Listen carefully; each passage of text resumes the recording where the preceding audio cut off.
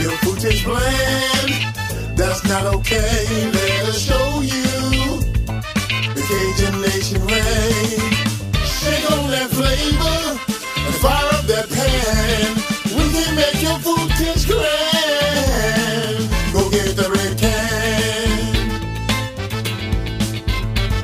That Cajun Nation seasoning.